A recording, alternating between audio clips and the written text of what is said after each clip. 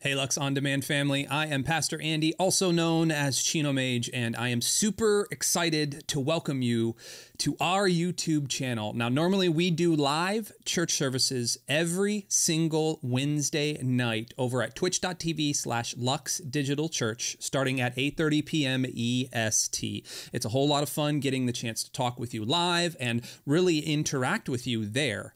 But our church mainly gathers on Discord, and you'll see the link below and in all of our profiles. We'd love to get the chance to hang out with you week in and week out. But for now, sit back and relax as we get ready for a new talk here on YouTube. What's up, guys? Welcome to the Flealess Kansas studio, The Den. I'm Druzy, the community and discipleship pastor here. I'm so excited you're here with me. I'm so excited that I don't have fleas everywhere all over uh, the den. That would be kind of frustrating. But thankfully, Greg's never been here. So uh, thanks, Greg, for never bringing those here. But hey, Kansas represent. There we go. Dr. Level Up in the chat. Amens to all the prayers. Man, I'm so excited.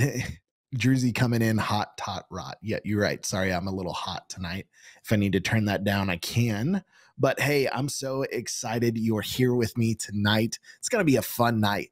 If you've never been here to Lux, I'm so glad you're here. We have tons of new people here tonight. Sick burn, that's right. Uh, we got tons of new people here tonight. We got a Jate live raid tonight. So glad you're here. We got friends from Love Thy Nerd, Bubba. Uh, I'm not sure if we got any more, but man, we have an awesome place tonight. So I'm so glad you're here. Uh, thanks for throwing the milkman emoji in the chat, Greg. We love you.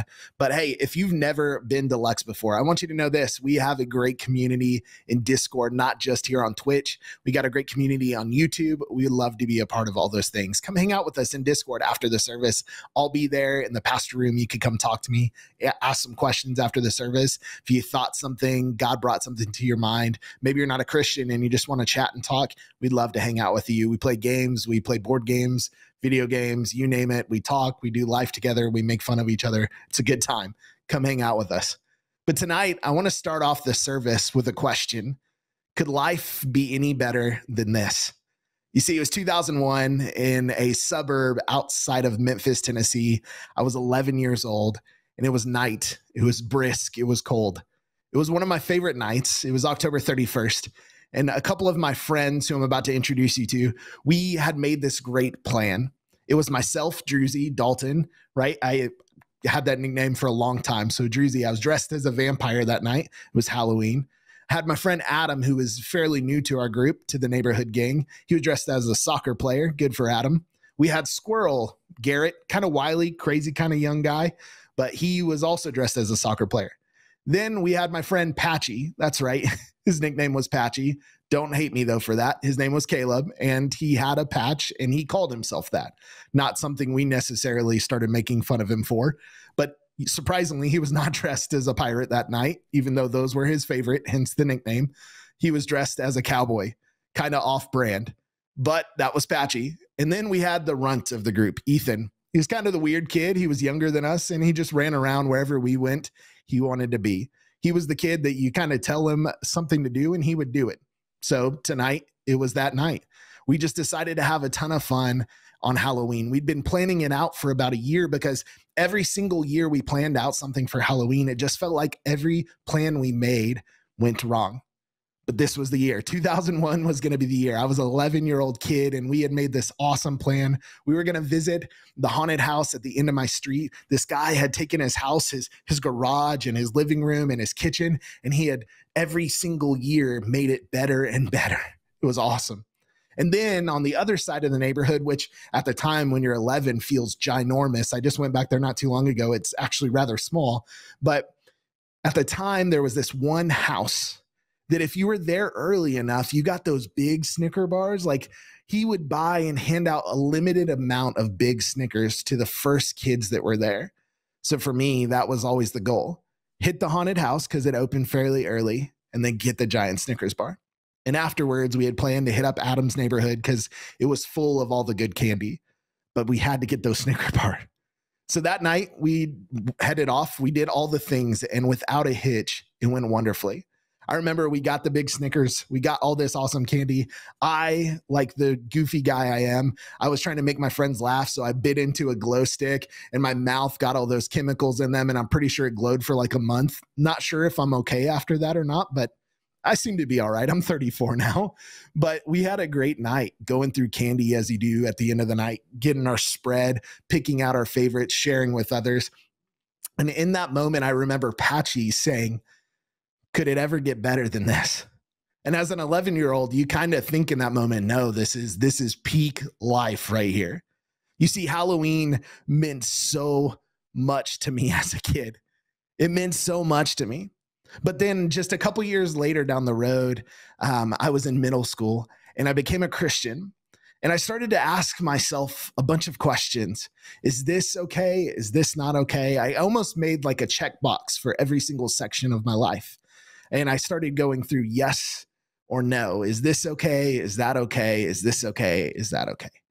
and Halloween barely made the list. I just had assumed, even though it was something I loved and enjoyed and cared about so much, and I had this great memory of like, could it life be any better than this? Giant Snickers bars and, and haunted houses and a night with the boys.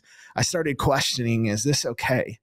But thankfully at the time my church decided to engage in halloween and i guess that made it okay because if i'm a new christian and my church is trying to engage in it i guess that means it's fine for me i think so maybe for you, that's kind of where we're at tonight. And we'll talk about that a little bit later. But over the last couple of weeks, we've been talking about this idea of liberty. We've been covering this question of what do we do with things we encounter in life that aren't in the Bible? And we talked about the reality is that it'd be really great if the Bible had like a step by step guide to, you know, how we're supposed to live but in 2024, let's be honest, how could it? You know, the internet wasn't a thing.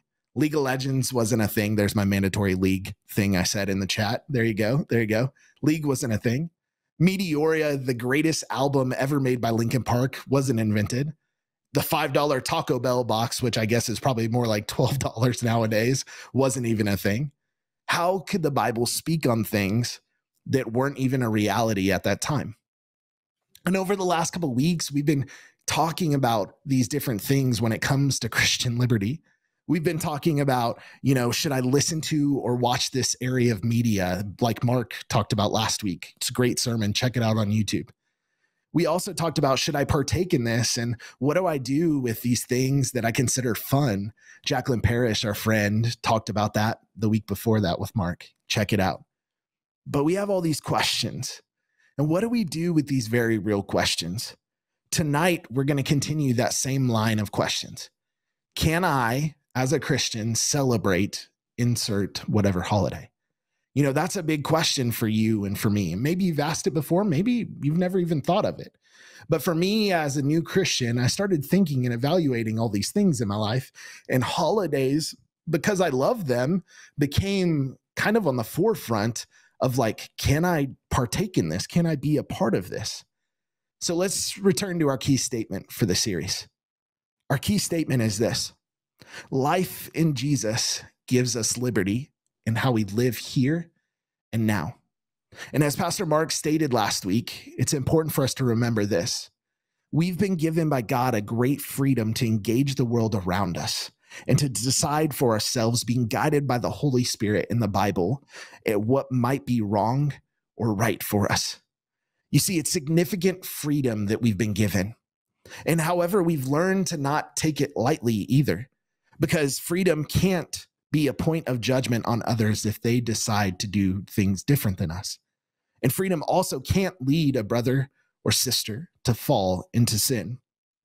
So, back to the question holidays. What do we do with them?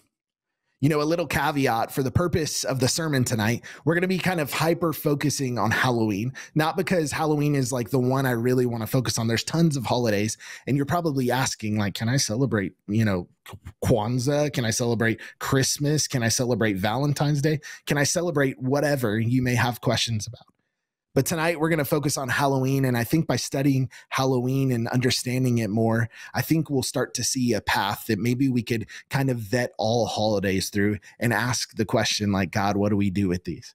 So, tonight, this question about Halloween, you know, a quick Google search this week kind of brought up some interesting things like can a Christian celebrate Halloween? Man, that's a hotly debated topic from Google. You get everything from Pat Robertson, who's like a news anchor for a self proclaimed Christian news network, that said Halloween is of the devil. He said it's a moral failure for Christians to celebrate it. I thought that was pretty interesting. But then you get churches around me in my community here in Kansas. I live in Wichita. You get churches all around that are seeming to engage in Halloween and serving and loving people. What do I do with that? You know, you get people on both sides of this conversation. So for me, I had to ask the question which is right? So, if you will, tonight we're going to start this conversation by going back in time. We're actually going to go back to the 1600s. And I know you may be asking why, but you'll see here in a second. We're going to go back to the 1600s to the famous town of Paris or Paris, France. Sorry, I had to throw it out there just because of all the Paris jokes this summer. But Paris, France is where we're going to be in the 1600s. And in Paris, France, there was a monastery in the downtown area of the city. And there we'll meet a young man named Nicholas Herman. And there he's renamed himself actually Brother Lawrence the dishwasher, and the cook. You see, in the 1600s, this man was born into poverty. He served in the French military. He was gravely hurt in the midst of a battle. He was captured and he was almost executed. And because of this, he ended up leaving the military at 26. And during this time, as he's leaving, he couldn't get a job because of the injuries he had. So he started thinking about, like, how am I going to survive? So he decided to become a monk because of the consistent meals he could get. And as he was a monk, he started to serve in the dishwashing and the cooking and later on repairing of the sandals um, of the people of the monastery and the community until the end of his life. And he struggled deeply while he was doing this with the mundane life of washing dishes and cooking. He, he struggled with seeing it as service for the Lord. Day after day, new sinks of dishes and full sets of meals to prepare day after day, the same thing. And until one day it struck him. You see, he was thinking about it all wrong. God had put on his heart a simple saying that affected the rest of his life everything is spiritual. Simple but profound, this changed everything for him. He believed that one can practice the presence of God at all times.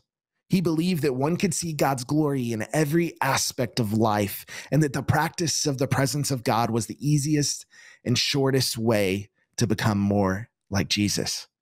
You see, he thought everything had the potential to bring him closer to God or farther away from God.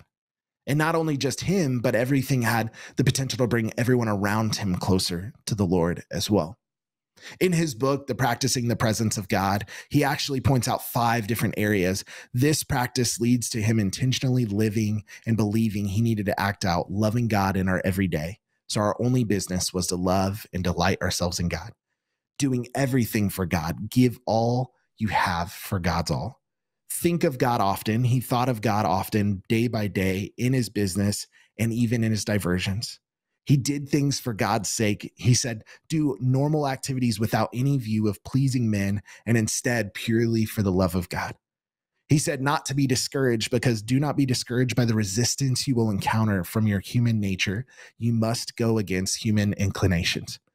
And then he sought to seek satisfaction in God's will. We should seek our satisfaction only in fulfilling his will, whether that leads to suffering or comfort. That one kind of hit me hard as I was reading that. And then finally, living in God's presence. Make a commitment never to deliberately stray from Him, to live the rest of your life in His holy presence. Now, those commitments seem kind of lofty and crazy, but ultimately, what it was was he said, if there's this idea of everything is spiritual, I want to pursue that. I want to pursue living a life where everything I do spiritually affects my relationship with God.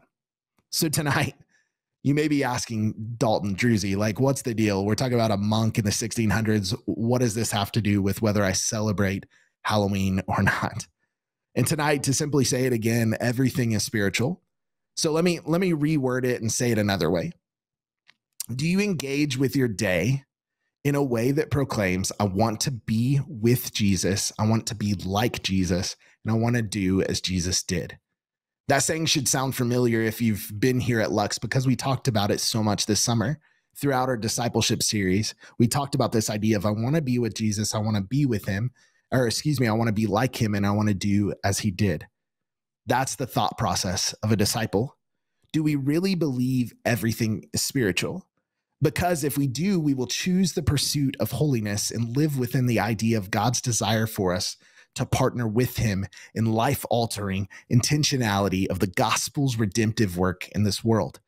You see, participate or not in a holiday, that is not actually what matters. All I do my best to explain tonight is that the matter goes much deeper than that. It's the heart. What matters is what my former professor, Steve Vier, said. He's asked this question once to our class Why do you do what you do? And he proposed the answer to that was we do what we do because we want what we want. And you know, the answer is, is a simple but profound answer. You see, the focus of the issue is the heart. Let's look at what Jesus has to say in the Sermon on the Mount. It's the it's the most famous sermon that that Jesus ever preached. Many think it's the greatest sermon of all time. I would say so too if Jesus preached it. But in Luke chapter 6, let's look at what the Sermon on the Mount says. It says this in verse 43 through 45. A good tree can't produce bad fruit, and a bad tree can't produce good fruit. A tree is identified by its fruit. Figs are never gathered from thorn bushes, and grapes are never picked from bramble bushes. A good person produces good things from the treasury of a good heart and an evil person produces evil things from the treasury of an evil heart. What you say flows from what is in your heart. You see, Jesus gives us the great ex- example of you do what you do because it's in your heart. Why it matters is because we are naturally inclined to go against the Lord. And we're naturally inclined to go against what he desires for us. The Bible's pretty clear in Romans 3:23 for all have sinned and all deserve uh, or excuse me, all fall short of the glory of God. And in First John 1 8, it says, If we claim to be without sin, we are deceiving ourselves and the truth is not in us. And then it carries on in James chapter 4, it says, If anyone knows the good they ought to do and doesn't do it, it's sin. Sin meaning they miss the mark. You see, despite this, those of us who are in Christ, meaning those of us who have surrendered our lives to Jesus, man, we're called to live differently we are called to live differently. We do what we do because we want what we want. Well, what do we want? That's the real question. Romans 12 says this Romans 12, 1 through 2. It says, So, dear brothers and sisters, I plead with you to give you bodies to give your bodies to God because all of He has done for you. Let them be a living and holy sacrifice, the kind He will find acceptable. This is truly the way to worship Him. Don't copy the behavior and customs of this world, but let God transform you into a new person by changing the way you think. Then you will learn to know God's will for you, which is good and pleasing and perfect. This is at the point where you're probably asking yourself, okay, Druzy, we got a monk, we got Jesus, and we got Paul's teaching to the Romans. What the heck does this have to do with mass candy and Halloween? Well, that's the question, right? But here's the answer everything is spiritual. So now what? Simply put, whether we celebrate Halloween or not, our response, as with everything else we do in our life, should reflect our heart that is intentionally living in a way that wants to be with Jesus, wants to be more like him, and wants to do as Jesus would do. Let that sit in. Let's say it again. Simply put, whether we celebrate Halloween or any holiday or not, our response should be in everything we do, it should reflect a heart that is intentionally living in a way that we want to be more with Jesus. We want to be more like Jesus, and we want to do as Jesus would do. Let's practically look at this. I told you uh, the first church I was growing up did some Halloween things. And that kind of wrecked me at the time because I was not quite sure Halloween was okay. But I'm not just going to talk about that church. I'm going to talk about three different churches, that one included. And uh, in that, I'm going to show you three different churches' responses to Halloween and how they went about Halloween. I'm going to give you their method, their message, and their opportunity. So, in that, hopefully, we'll see three very different views of Halloween, how they went about them. You may not like all of them. We'll talk about that here in a second. But I think it's the heart that matters.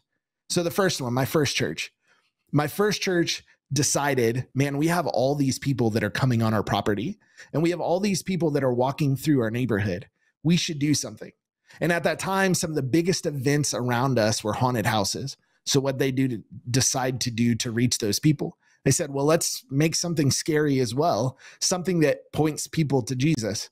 So, at the time, they made something, and some of you maybe have experienced this before something called a judgment house. And I know some of us are going to be like, ugh, Judgment House. Yes, a Judgment House. And yours truly was one of the main actors. They suckered me in as a teenager to be a part of that. That's where my speaking career started. But I was in a judgment house, and basically, a judgment house would look like this. You'd come through, you'd see the door, they'd welcome you in. You'd follow a story as the rooms went on. So I think I was like a teenage boy. I had my girlfriend. I was living in sin. She was righteous. She was perfect. Um, I we got in a car crash, a car crash, I think, because I had I had been drinking. We died. She goes to heaven. I go to hell. At the end, they're like, "Man, that sucks. Here's some candy." And that was that was what we did. That's a very abbreviated and probably more joking about it, kind of the ridiculousness of it. But essentially, that's what happened. And in that, I, I think I told you we were going to talk about the method, the message, and the opportunity. The message was they wanted to see the lost come to know Jesus, and they wanted to show their neighbors that there was a great consequence to not following Jesus, separation from God forever. Now, whether you agree with their method or not, once again, we'll talk about that here in a second. The opportunity was the community desiring to seek out haunted houses and trick or treating, and the community that was very lost around them. So that's the way they went about it. Their heart was, we want to see the lost come to know Jesus. The second church was a church in Illinois. And that church that I went to in high school, man, they were pretty open about Halloween and its history and and the leadership had struggled themselves in their conscience and through prayer with celebrating it. So instead, they decided, well, hey, that night we're going to have a worship night and a time of prayer for our community. So maybe not be involved in it, but still be active in praying and be a part of it. And that as a kid was an interesting concept because I had always been to churches that were active in the community and handing out candy.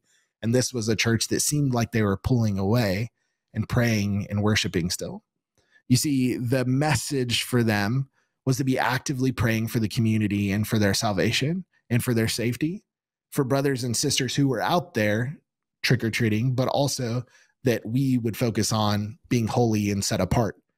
Their opportunity was a designated night to be countercultural while still engaging in prayer for the people in the community. The third one was Southside, the last church I've worked at. I'll actually name drop them. I, I loved their response. You know, they, a good friend of mine, uh, was one of our event coordinators, and she had come up with this great idea for called Spark the Night. And essentially, what it was was we were rallying our church to go to their homes and do the Halloween thing. But we were also supporting them with different supplies and things to make their night the best night ever. And while we were doing that, basically the message was to love your neighbors around you and to get to know them and show them the love of Jesus. So, practically for my family, what we did was we set up a fireplace in our driveway. As people would come in, we had s'mores and hot dogs for parents because, you know, parents forget forgotten all the time on Halloween. The kids get candy. What do the parents get? So, we would say, hey, come take a break with us, come talk to us. So, they'd have s'mores, we get to know them, and we'd started building relationships with our neighbors in ways that we never did. Spark the Night was something that wasn't just about one night, it was about a year long event. So it was great. That was their heart behind it. And all three of these are vastly different responses to Halloween, but at the same time, all intentional in what they did. And let's be clear, you and I probably don't agree with all of these methods, and we probably have some that we would lean towards or like more than others. And to be honest, I'm very much that way as a pastor today. I don't know if I would want to do all of them, probably ones that you could guess. But at the same time, I can tell you stories from each of these where God did amazing, beautiful things. And that's really the crazy thing about the topic of liberty. Our methods of living our lives for the Lord can look extremely different. But the meat of why we do what we do should be the same. That alone, that statement right there has changed me a lot over the years. Because at times in my Christian walk, man, I could think that I have it all right. And I could look around and I could be like, man, you know what? This ministry over here, man, I, I don't agree with them. They must not be Christians. And I think this idea of Christian liberty can be a really hard topic for us. But I think it's an important topic to address because, hey, Jesus prayed in John 17 for our unity. And sometimes, you know what, being a brother of four or like being the oldest of four, I love my siblings, but I don't always get along with them.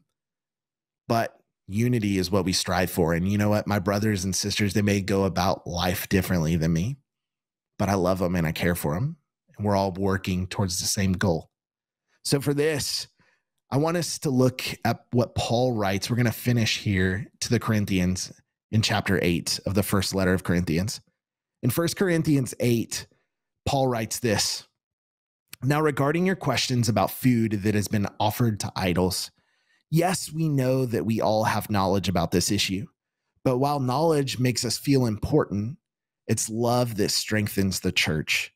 Anyone claims anyone who claims to know all the answers doesn't really know very much. But the person who loves God is the one whom God recognizes. So, what about eating meat that has been offered to idols? Well, we all know that an idol is not really a God and that there is only one God. There may be so called gods, quote unquote, little g gods, both in heaven and on earth. And some people actually worship many gods and many lords. But for us, there is one God, the Father, by whom all things were created and for whom all we live. And there is one Lord, Jesus Christ, through whom all things were created and through whom we live. However, not all believers know this. Some are accustomed to thinking of idols as being real. So when they eat food that has been offered to idols, they think of it and they worship or they feel as, or excuse me, they think of it as the worship of real gods and their weak consciences are violated. It's true that we can't win God's approval by what we eat, and we don't lose anything if we don't eat it. We don't gain anything if we do. But you must be careful so that your freedom does not ca- cause others with a weaker conscience to stumble. For if others see you and with your superior knowledge eating in the temple of an idol, won't they be encouraged to violate their conscience by eating food that has been offered to an idol? So, because your superior knowledge, a weak believer for whom Christ died will be destroyed. And when you sin against other believers by encouraging them to do something they believe is wrong, you are sinning against Christ. So if what I eat causes another believer to sin, I will never eat meat again as long as I live, for I don't want to cause another believer to stumble. You see, as a reminder, we've been given by God a great freedom to engage the world around us and decide for ourselves, being guided by the Holy Spirit and through the Bible, what might be wrong or right for us. It's a significant freedom we've been given. However, as Paul teaches, freedom can't, as we've already said, be a point of judgment on others if they decide to go a different way than you or I. And freedom can't lead a brother or sister to fall into sin. So here's the thing holidays there's a lot of truths about them. Holidays are convoluted. They can carry weight, they can carry cultural things, they can carry historical things, they can carry religious things. And holidays, even though they may not carry once they what they once did genetically, excuse me, there are still some isolated and behind the scene things and sometimes upfront things that don't honor God. So what do we do with them? Still sometimes holidays offer a great opportunity for us to love the people around us and to point people to Jesus. What are we supposed to do with that? It seems like there are so many things that are conflicting against each other. And what you do ultimately, based on what we're learning tonight, is completely up to you. I'm not giving you the answer tonight on whether you should celebrate Halloween or Christmas or any of those things, but I do want to give you a challenge. And the why it matters tonight is this whatever you do, whether you celebrate a holiday or not, do it for the Lord. Whatever you do, whether it's celebrating Halloween or not, do it for the Lord. Don't do it out of pride, but choose to do it because it helps you and others grow with the Lord. Let me give you an example for my family. So I'm about to tell you about some of the things my family does, but I don't want you to say, mm, spiritual leader, do these things and I'll be right with the Lord.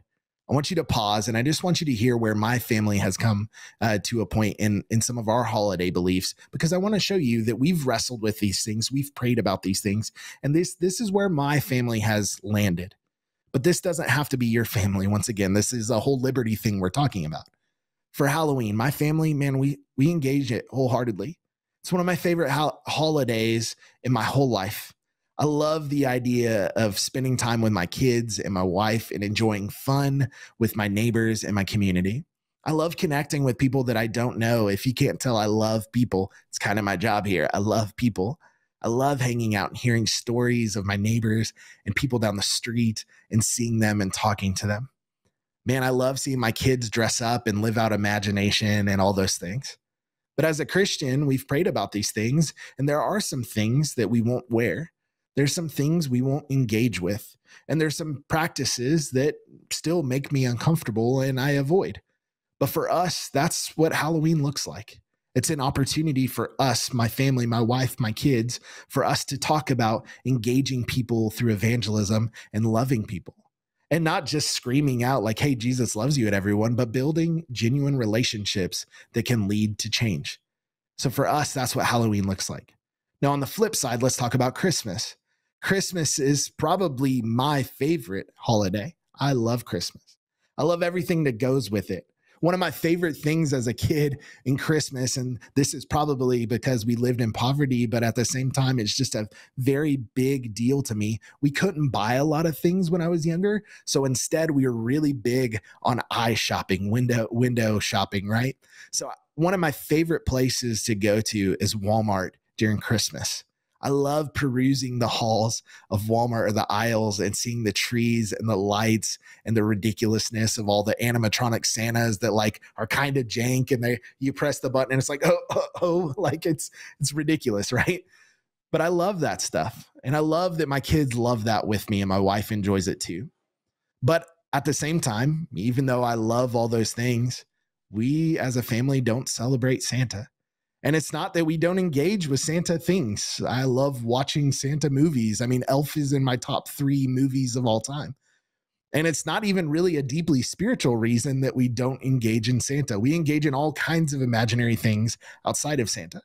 But for my family, we decided a long time ago that the act of gift giving was a great representation of, of Jesus and, and family and love for each other. And one of the weirdest things that really changed this for us was my kid went to school and they came back and they asked, man, Santa really must love that kid down the street because they got so much stuff compared to us. And we started noticing that like Santa in our culture where we were living in, in the South and in the Midwest had become this thing where it was like competition. Santa really loved certain families. And my wife was heavily convicted by this she was like, you know what? I really, because gift giving is her love language. She's like, I really want our kids to know the sacrifices we've made, the hard work we've put into, and a God that loves them, that has given us the resources to buy gifts for them and their family around them all over the country that is giving gifts for them and sacrifice for them. So we took that out of the picture for us for Christmas. Still watch the film, still talk about Santa. My kid calls any, my youngest calls any man with a gray beard Santa. It's awesome. But for us, it may seem like some of this stuff doesn't make sense to you. And that's okay. That's where Christian liberty kicks in. Once again, I don't say this because I'm trying to tell you the perfect model of a Christian. If you celebrate Santa, that's awesome. I'm not trying to represent that episode of community where Troy and Abed are trying to take down Santa from within, though it's one of my favorite episodes. I'm not saying let's take down the jolly man, right? But what I am saying is think about what you're doing. I give these examples because my family has come to very decisions that may seem conflicting at times. However, we've pray, prayed about these and we feel like they're spirit led. So, as a result, I'm asking you to reevaluate why you do and why you partake in everything. Everything is spiritual. So, embrace the things ahead of you for the Lord. And if something comes ahead of you and the spirit and the conscience says, man, this is something you shouldn't be involved in, flee from it. That's what the Bible tells us to do. But instead, live with intentionality to see you, your family, and others be more like Jesus, be with him, and do as Jesus would do. Church, I'm going to pray for us. And as we enter this season, be intentional about your heart be intentional about your walk with Jesus. Be intentional about the people around you. And remember, some of your brothers and sisters are going to disagree with you, and that's okay. But remember, it's all for the love of Jesus. Let's pray. Father, thank you so much for this opportunity to just talk and to tell about your word. God, thank you for freedom. God, thank you for the opportunity to walk and partner with you in this gospel life that we've been living. God, that we're not worthy to walk with you, yet you saw us and you cared about us and you loved us and you came to us through your son, Jesus. God, help us to be more like him as we walk with him. Help us to do the things that he did to show the world the good and gracious God that you are, that there's a hope found in you. And God, help us to make decisions that are wise, that aren't prideful. God, help us to be humble in our decisions on whether or not to partake in something, whether it's a holiday or music or food or whatever it is, God. Help us to be humble and help us to pray and to seek and to know that everything is spiritual in a way that everything has spiritual consequences that can affect our spiritual life and our walk with you. So, God, I pray for our church. I pray for myself. I pray tonight, God, that we would love and serve you in all things that we do. We love you, God. In Jesus' name, amen.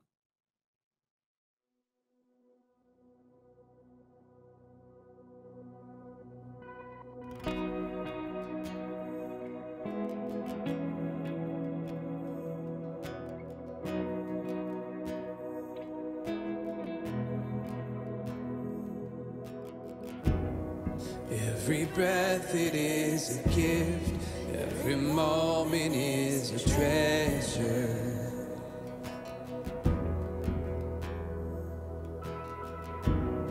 All my past and my regrets, my present and my future.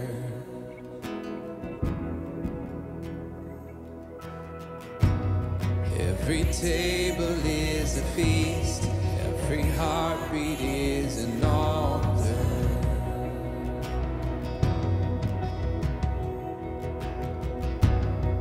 Every step a mystery. I'm walking with the author.